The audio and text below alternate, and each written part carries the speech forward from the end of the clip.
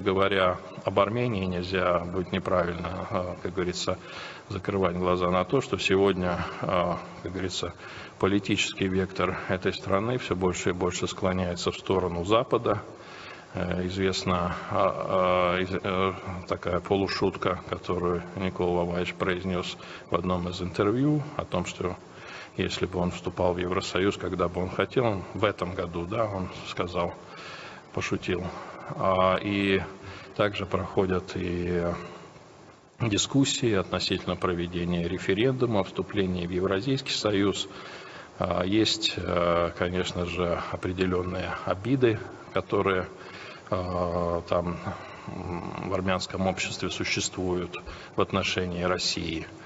А, по крайней мере, такая точка зрения там есть, это надо понимать. Но нужно также понимать, что, конечно, Европейский Союз и Евразийский экономический союз – это вещи а, несовместимые. И те выгоды, которые а, какая-то страна получает от близости с Россией, это тоже надо воспринимать, что это а, и плата, которую мы платим за свою безопасность и за стратегическую глубину.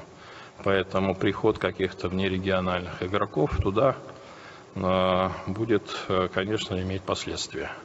Это тоже необходимо понимать.